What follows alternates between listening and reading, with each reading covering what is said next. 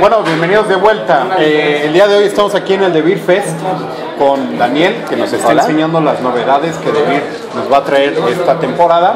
Y pues a ver, cuéntanos, domadores de bichos. Domadores de bichos, déjame decirte Mariano, esta es una de las novedades de temporada, forma parte de la familia de los bichos, que ya son un hitazo, mucha gente debe de conocer por ahí. Polilla tramposa, que todo mundo juega, todo mundo se divierte en una fiesta, todo mundo hace trampa, y este forma parte de esa familia. Ok, ¿cómo se juega? ¿Cómo se juega? Muy sencillo y muy difícil al mismo tiempo. Muy bien, vamos a ver qué tal nos sale Mariano. Vamos a formar una hilera de cartas aleatoriamente del mazo y las vamos a formar en la secuencia de la flecha. Tenemos cinco diferentes animales, tenemos ratas, cochinillas, arañas, moscas y caracoles. ¿Sale? Un jugador va a ser llamado el domador de bichos, una vez por ronda. Ese jugador va a tomar la carta del tope, aquí vamos a hacerlo Abierto. de manera de ejemplo, Me enseñan a la cámara, por favor. Así es, es un, es- son ratas y son cinco. Ok, ¿Sale? Este jugador, sin mostrarle la carta a los demás, va a ejemplificarles qué carta tiene en la mano, sin que los demás la vean. ¿Cómo lo va a hacer, Mariano? Muy sencillo, mira.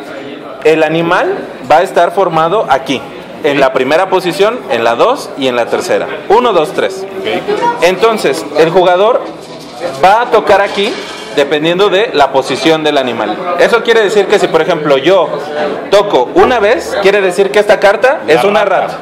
Si toco dos veces, la cochinilla, y si toco tres veces, la araña.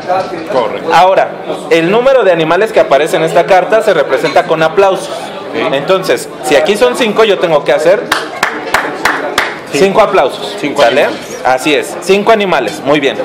Entonces, esta carta se representaría con un toque para la posición y cinco aplausos para el número de animales. Muy bien. Ahora, el domador de bichos va a jugar con la mente de los demás jugadores. No los tiene que hacer en secuencia. ¿Eso qué quiere decir? Que yo puedo hacer. Y el primer jugador que me adivine lo que yo tengo aquí se va a quedar con esa carta que contará como un punto de victoria. ¿Sale? El, el juego parece fácil, pero la verdad uno se traba. Sí, claro. Y los que ya tienen experiencia por ahí con Fantasma Blitz o cosas por el estilo, se pueden confundir mucho. A ver, va. A ver, son tres arañas. Sí, correcto. Tres. Ay, muy bien. Qué bien.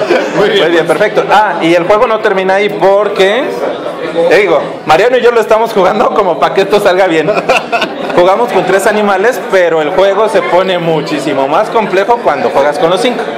Perfecto. Muy bien, pues entonces escala, ¿hasta cuántos jugadores se puede?